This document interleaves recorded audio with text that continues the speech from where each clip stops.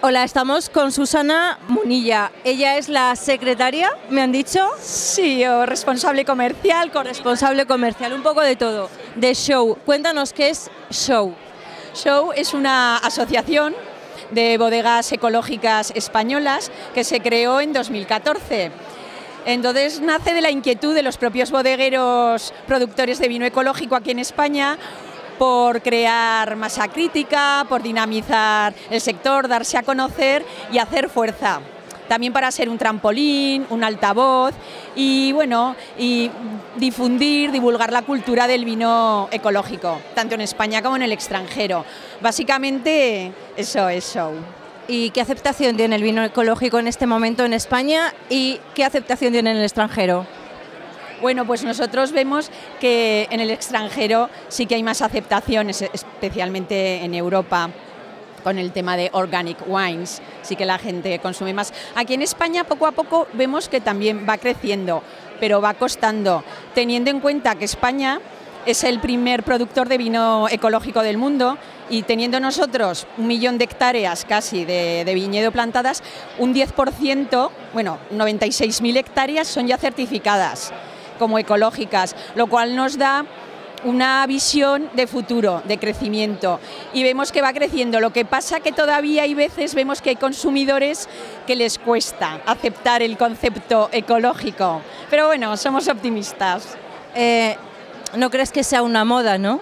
El tema ecológico, el tema eh, biodinámico, todo esto, ¿para ti qué es? Si es algo que va a tener eh, repercusión a largo plazo, es algo que se va a quedar para siempre con nosotros, es una vuelta a los orígenes.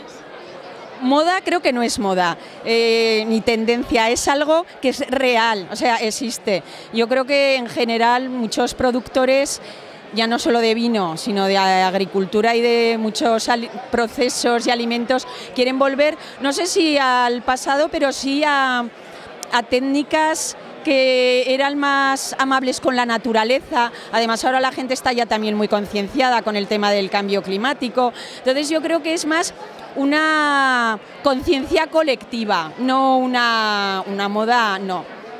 ¿Cuántos vinos de vuestra asociación se quedan en España y cuántos se vende fuera?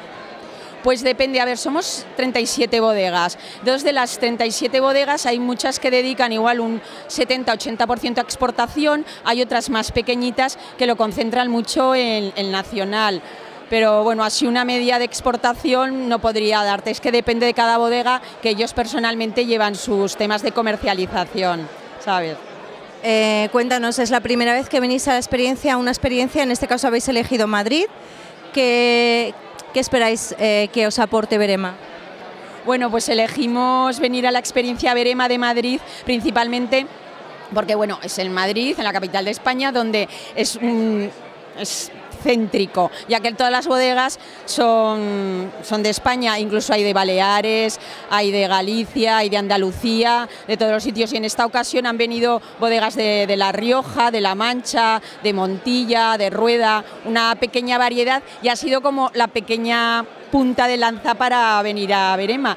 Tenemos expectativas y también contentos para ver que, cómo nos reciben aquí. Bueno, yo de entrada veo que el stand lo tenéis lleno. Ahora sí se ha animado mucho más a lo largo de la tarde porque vemos también eh, cómo es la, la, gente española, ¿no? Que nos gusta más a partir de las seis venir, pero muy bien. Muy pues muchísimas gracias por haber estado con nosotros. Esperamos veros en más ocasiones y nada, acabar la tarde. Gracias, muchas gracias.